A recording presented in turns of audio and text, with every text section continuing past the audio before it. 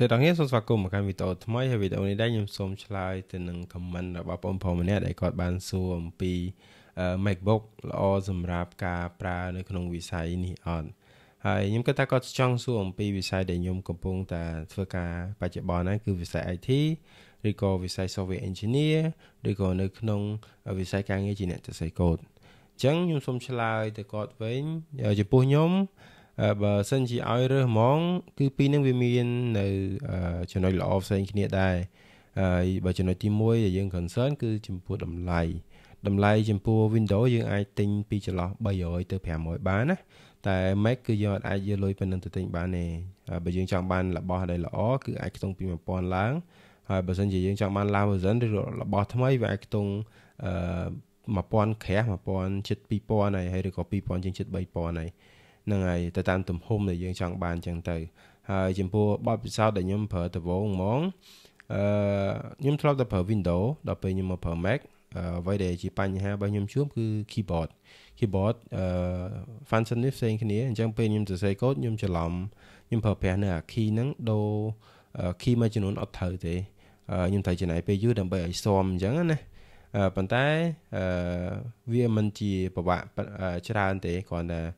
នៅដបងដបងគឺយើងពិបាកក្នុងការប្រើហើយ mousepad ដូចគ្នាដែរគឺយើងពិបាកដបងប៉ុន្តែយូរទៅគឺមានភាពងាយស្រួលមែនទែនស្រួលជាង Windows ឆ្ងាយមែនទែនហើយខ្ញុំចូលចិត្តជាងគេគឺ mousepad ហ្នឹងហើយខ្ញុំដកចិត្តអត់រួចទេអឺហើយ function តាក់ទង mousepad នឹងមានច្រើនយើងចង់បដូរ screen អីយើងប្រើតែម្រាមដៃ3ធ្វើការផ្លាស់ប្ដូរទៅវាងាយស្រួលមែនទែនបើប្រៀបធៀបមួយ Windows យើងត្រូវចុចមកកាន់ tab របស់យើងមួយមួយហើយ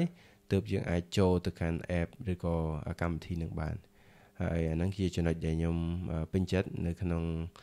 MacBook ហើយបើនិយាយពីការសរសេរកូដដូចខ្ញុំប្រាប់ពីមុនហ្នឹងតើតងការ keyboard ហើយបើនិយាយពីប្រសេសវា Mac លឿនជាងហ្នឹងហើយខ្ញុំអ្វីខ្ញុំធ្លាប់ប្រើអាចថា Windows ខ្ញុំជាសេរីចាស់ក៏ខ្ញុំមិនដឹងដែរប៉ុន្តែបើ compare នៃការសរសេរកូដពី computer 2របស់ខ្ញុំហ្នឹងគឺ Mac លឿនជាងហើយព្រោះ Mac វាសេរីចុងក្រោយហើយ Windows ក៏មាននៅ computer ដែលមានតម្លៃថ្លៃដែរប៉ុន្តែបើថាល្អប្រើឬក៏មិនល្អប្រើអាហ្នឹងលើយើង check មើលនៅបទពិសោធន៍នៃអ្នកប្រើប្រាស់ឬក៏ការ recommend ពីគេដែរប៉ុន្តែសម្រាប់ខ្ញុំគឺខ្ញុំ recommend Mac ហើយហើយបើសិនជាយើងយក Mac ទៅសរសេរកូដខ្ញុំគិតថាល្អហើយកាត់វីដេអូខ្ញុំអាចកាត់ 4K បានប៉ុន្តែកុំកាត់នៅ រយៈពេលយូរពេកខ្ញុំធ្លាប់កាត់វីដេអូដែលតទៅទៅនឹង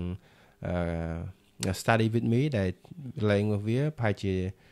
ខ្ទង់ជិត1ម៉ោងហើយ render 4K ទៀតអញ្ចឹងវាធ្វើឲ្យកុំព្យូទ័រនឹងក្តៅនៅពេលយើង render ហើយពេលខ្លះ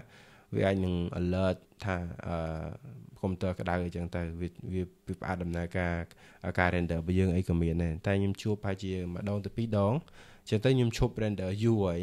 ហើយ ខ្ញុំគិតថានៅពេលដែលខ្ញុំមក render រយៈពេលខ្លីវិញខ្ទង់ក្រោម10នាទីគឺវាដើរលឿនមែនតើហើយ smooth អត់មានជួបបញ្ហាដោយការខ្ញុំពេលខ្ញុំ render យូរទេហើយដូចខ្ញុំនិយាយមកអញ្ចឹងមុននឹងយើងជ្រើសរើសកុំព្យូទ័រ Windows ឬក៏ Mac នេះយើងសួរខ្លួនឯងសិនតើលទ្ធភាពយើងអាចជ្រើសរើសបានមួយណាបើនិយាយពីល្អយើងអត់អាច compare ទេព្រោះតម្លៃវាផ្សេងគ្នា អញ្ចឹងបើសិនជាយើងជាអ្នកចាប់ផ្ដើមដំបូងហើយយើងអត់មានលុយគ្រប់គ្រាន់ទេ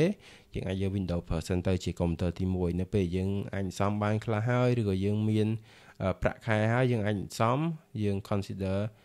ទៅលើ Mac ជាកុំព្យូទ័រទី2បានវាអត់យឺតពេលទេអត់យឺតពេលទេពួកអីនៅពេលយើងរៀនក៏មិនត្រូវការ requirement ច្រើនដែរគ្រាន់តែរៀនមានអាចប្រើប្រាស់ជាមួយអ៊ីនធឺណិតបានអាចធ្វើ slide បានអាចសរសេរកម្មវិធីមួយចំនួនបានទៅគឺចប់ហើយអាហ្នឹងបទពិសោធន៍ខ្ញុំជួប កុំយកវាទៅធ្វើអីផ្សេងដែលវាអាចនឹងវាអាចនឹងធ្ងន់ណាអញ្ចឹងវាធ្វើឲ្យកុំព្យូទ័រយើងឆាប់ទក់ឆាប់ slow អញ្ចឹងទៅអញ្ចឹងយើងគ្រាន់តែរៀនគឺអត់បញ្ហាអីទេ